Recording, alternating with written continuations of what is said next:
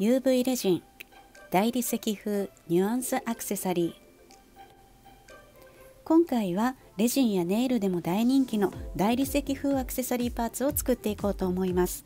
ホワイトとブラウンの柔らかな組み合わせとゴージャスに仕上がる金箔を使ってマットで仕上げてもツヤツヤで仕上げても簡単かわいいアクセサリーを作っていきたいと思います。皆さんこんにちはパルチャンネルです。えこちらはですねグリーンオーシャンさんの福袋に入っていたたくさん入ったモールドですね。もうどれを使おうか迷ってしまいましたが、えー、早速作っていきたいと思います。それではまず最初にカラーを作っていきます、えこちらはカラリーの、えミルクティーそしてドラバイトというブラウン系のカラーです。新しいマサルの涙楽しみですね。それではレジン液をたっぷりめに入れて準備をしておきます。こちらに3滴ほど垂らしてこちらはミルクティーですね、えー、とってもいいカラーでおしゃれに仕上がる気がいたします。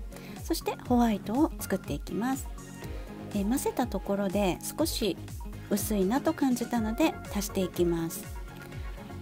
このくらいまで濃く仕上げておこうかなと思います。ミルクティーもですねこういう感じの色で、えー、最近流行りのニュアンス系にはぴったりだなと思いました。ホワイトもこのくらい少し透明感が残るくらいで仕上げております、えー、3色並べてみていいかなと思うところでどこに流そうかなと思って迷っていたんですが、えー、こちらの四角いスクエアのパーツ大きいものをこちらに見つけたので、えー、どうしようかなと思ってこっちにしました。大きめのパーツでねいきたいと思います。そして、えー、こちら金箔ですね、えー、こちらシーリンで購入いたしました。それでは、えレジン液を隅の方にほんの少し流して広げておきます。この辺りに金箔を入れようかなと思いますのでこのくらい取っておおすごい静電気だったんですよ。すごいですよね。あの動く動くという感じでした。あこっちの方にもついてしまいまして、えー、ちょっと言うことを聞いてもらいながら左下の隅の方に集めるようにして、えモールドにもこすりつけて準備をしておきます。そしたら上から少しクリアを流して整えました。それではですねホワイトのレジン液をまずはこういった感じでライン状に流していきたいと思います。そしてミルクティーを隣に流します。そしてその上からブラウンをライン状にそして端の部分にも流していきます。でここの隅のところにまたホワイトを流して上から押し流すようなイメージですね。でミルクティーを入れたら今度は先ほどのクリアの部分からクリアを流して押し返すようにレジン液を流していきます。そうするとこのラインの層ができるのでこれをですねスティックを使って下に押し込みます。表から見た時にほんの少しブラウンが見えるようにであまり動かさずにこうナイフでカットするようなイメージで下に押し込んでラインを少し描いていきます。あまり触らないくらいでいいかなと思いました今回は。こうカットするような感じで押し込んでいきます。余分なものを取り除いて、えー、下の方に押し込んでそれではここで硬化したいと思います。表からねどういう風に見えているのかなちょっとまだわからないのでそれではゆっくり取り出していきたいと思います。はい。硬化が終わりました。いいですね。あのはっきりとした線がほんの少し見えるくらいで仕上がったのが良かったかなと思いました。いいですね。裏面と表面は全く違う模様となっております。そしたら、えー、バリを取っていきます。ここはかなり薄いバリになってるのでニッパーを入れたら簡単に取ることができました。はい。ちょっとチョコレートにも見えるようなパーツが出来上がりましたね。それでは、えー、静電気と格闘をしながら同じようにもう一つのパーツを作っていきます。えこれこすりつけて少しまだらになったゴールドの箔というのもあのデザイン的にはいいかなと思いました。それではホワイトを斜めに流します。その隣にミルクティーを流してその上をめがけてブラウンを流します。で端にも、はい、で余っているところにホワイトを流して押し返してその上にミルクティーを流してこちらからもクリアで押し返します。先ほどと全く同じですね。今回はライン状になるようにそして少しぼやけた感じになるように見えるようにスティックを差し込んで表に少しだけブラウンが見えるようにデザインをしていったつもりです。はい、こう層になっている石をイメージしたかったので、えー、斜めに線を入れていきました。硬化します。はい硬化が終わりました。ドキドキしながらこんな感じで、えー、仕上がっております。いいですね。あのこっちのゴールドの方が私的にはあのニュアンス的な感じに仕上がったので気に入ってますね。はいバリを取ってそれでも取りきれなかったところはヤスリ書きをしておきます。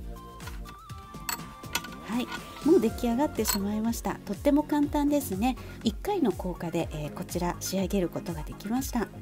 とっても可愛らしいです。クリアの部分も残って、えー、少し半透明の状態で仕上がりました。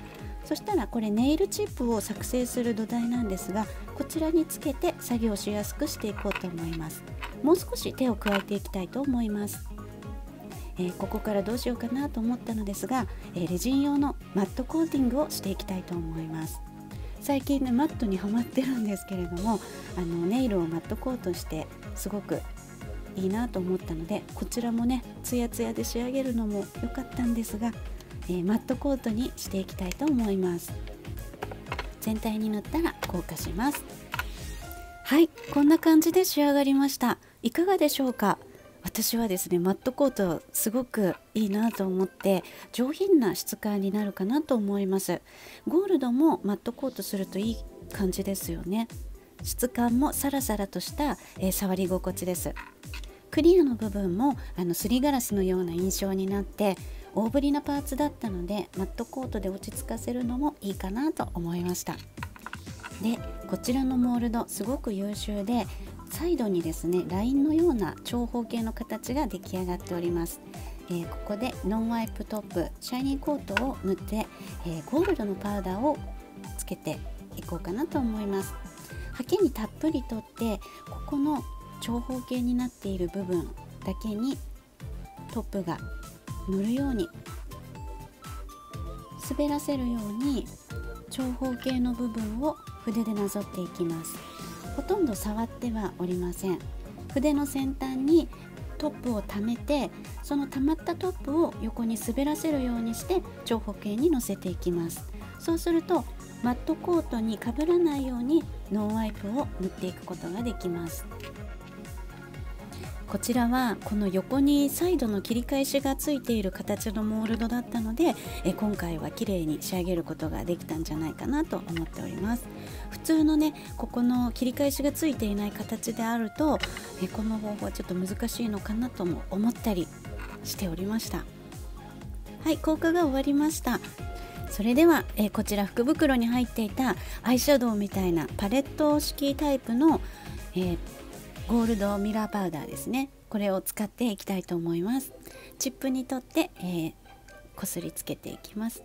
はい、えー、とっても思っていた以上にいいゴールドで私とっても好きになってしまいましたね。上品な、えー、ゴールドに仕上がっているかなと思います。いいですね。で先ほど塗ったノンワイプも月がすごく良くて、えしっかりと発色してくれました。そしてこのプレストタイプのあのパウダーなんですけれども粉が散らなくていいですね。もうそこに感動いたしました。そして量の調節がしやすいですね。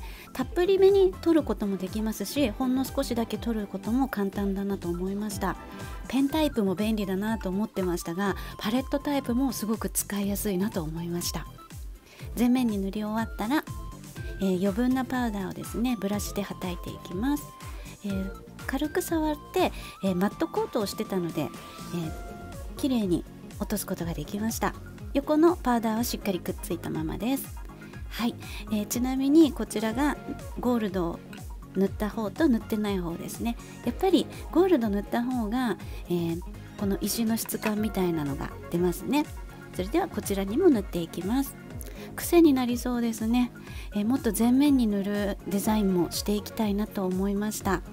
ですがあのこのくらいのラインなのでゴールドの質感がすごく生きてるんじゃないかなとも思ってます。この四隅の部分にもしっかりとパウダーをのせて、えー、余分なパウダーを払ったら、えー、この後はトップを塗ってコーティングをしていきたいと思います。こちらも先ほどと同じノンワイトのトップですね、えー、マットのコートにかぶらないようにサイドにだけのせていきます。こちらブラシの先端にトップが一滴落ちるか落ちないくらい溜めて、えー、滑らせるように塗っていきます。この時ですねパウダーをこすらないように気をつけながら少し浮かせ気味で、えー、直接触らないように塗っていきます。触ってしまうとパウダーが、えー、剥がれてしまうこともありますのでなるべく摩擦をかけないように塗っていきます。はい効果が終わりました。これで全てのコーティングが終わってパーツの出来上がりです。いいですね。それではこのオーバル型のモールドを使ってせっかくなのでレジン液余ってますのでツヤツヤタイプも作っていこうかなと思います。金箔をのせて先ほどよりは小さいスペースになるのですが同じ工程で作っていきたいと思います。ホワイトを入れていきます。ラインになりにくいのですが、えー、上から重ねていくという感じで順番にカラーをのせていきます。先ほどと同じですね。ブラウンも入れていきます。最初にホワイト系のカラーを入れてるので前面には淡くクリーミーなカラーが見えてるんですけれども後からブラウンを入れて、えー、それがだんだん沈んでいくというイメージですかね。でさらに上から違った色をかけて、えー、沈めていく。それで、えー、層を作っていく。という感じですね。では全てのカラーを入れたら下からクリアを入れて押し上げていきます。気泡を潰しておきます。そしたら、えもう一度サクッとこうケーキをカットするようなイメージでブラウンを下に押し込んでいきます。今回はあまり混ぜない混ぜすぎないようにスッと引くような感じで模様を入れていきました、はい、ただねこれ表から見えないのであのどういう風になっているのかっていうのが硬化をしてからのお楽しみという感じですよね。はい効果が終わりました。それでは取り出していきたいと思います。あいい感じですね。あの惑星のようなイメージにも見えます。はいこちらは、えー、とってもいいかなと思います。ラインがここはパキッと見えてるんですけれども、えー、ぼやけてるところはぼやけているので大理石風には、えー、見えるんじゃないかなと思いました。この土台につけるとこれだけで何かのインテリアみたいですね。何かはわからないですけれども。はいこんな感じで仕上がりました、えー、金箔もですね乳白色の中に沈んで、えー、いろんな見え方をしていいかなと思います、えー、それではトップを塗っていきます。よく聞かれるんですけれどもあのどうしてもベタつきが残る場合はトップで仕上げると必ずツルツルに仕上げることができますのでおすすめです、えー、左がトップを塗った方そして右が塗ってない方ですね。ツヤ感がやっぱり違いますね。今回は、えー、2度ずつ、えー、トップを塗ってこちらのツヤツヤタイプは仕上げておきました。形が崩れないように2回に分けております。そして、え、こちらはマサルのお弁当箱の中にいいものが入っておりました。これがですね貼り付け用の缶ですね、えこれを使って穴を開けずにパーツをつけたいと思います。そして、えピアス金具も入ってますのでこれを使いましょう。こっちじゃないですね、えー、そしてこのポニーフックをつけるパーツもあるんですがポニーフックにもぴったりですね。ちょうどいい、えー、大きさかなと思いました。あとはえー、っとですねこのピンをつけてもいいかなと思いましたしこちらはヘアゴム用ですね。ヘアゴムに取り付ける用の台座でしたね。それでは、えー、この金のパーツを取り付けたいのですが穴を開けたくありません。でこの貼り付け感をつけようと思ったんですがクリアの上に乗せてしまうと透けて見えてしまうのでこちらの向きにつけていこうかなと思います。向きは、え、クリアを外側にしてこういった形で仕上げたいなと思います。それではですね一旦あのお部屋に戻っていただいて作業しやすいようにします。レジン液を1滴のせてまずはあの仮止めをしますね。ここで、えー、ギリギリのところで設定をします。硬化します。これはあの金属の裏は未硬化が出るので裏からも当てていきますね。はい。で一旦仮硬化が終わりました。確認をします。かなりギリギリでつけたんですが、えー、大丈夫そうですね。そしたら、えー、コーティングをして、えー、しっかりと補強をしておきます。こちらも同じように作っていきます、えー、先ほども言ったんですがこういった缶だったり、えー、ピアス金具は接着剤でつける方がいいのですが今回は微調整をしたかったのでレジンでつけてます。でこれマサルに入ってたやつなんですがちょっと大きいパーツなのでこちらの広めのピアス金具を使うことにしました。レジン液を流して配置をします。で、えー、仮効果が終わったら表からも当てて、えー、効果をしておきます。はい効果が終わりました、えー、これね試したんですが結構しっかりくっついてました。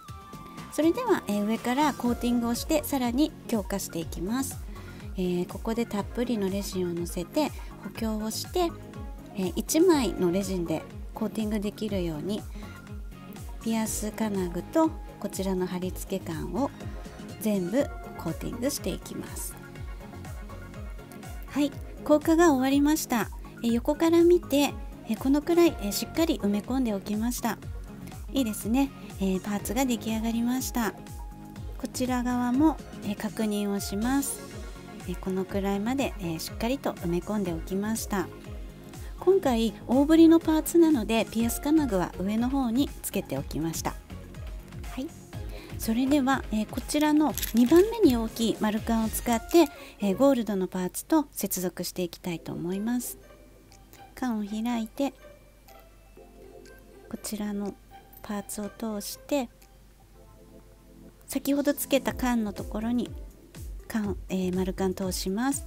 でキュッと丸カンを閉めて横からももう一度キュッと締めておきます。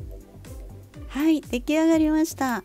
えゆらゆら揺れるパーツがいいなと思ったので今回はえこちら揺れるタイプを作ってみました。こちらにもつけていきますね、えー、マットの質感だったのでゴールドはキラキラにした方がいいかなと思い、え、大ぶりのピアスが出来上がりました。いいですね。あの揺れるタイプすごく好きですね。で、えー、こちらの留め具をつけて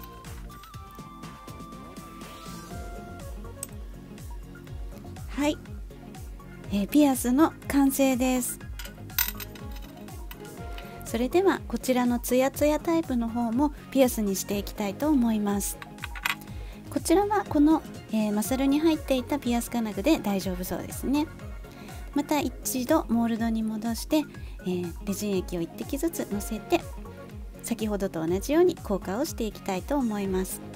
はい効果が終わりました、えー、金具も入れてピアスの完成です。こんな感じですね。こちらもあの上の方に取り付けておきました。なんだかコロンとして可愛らしいですね。えー、そしてこちらはですね丸いモールドを使ってマットコートのピアスを作りました。こちらもねパーツを変えてまた違ったデザインにしてあります。いろいろ作りたくなっちゃいますよね、えー、こちらはゴールドの箔を少し色味を変えて作ってみたものです。こちらもいいですね。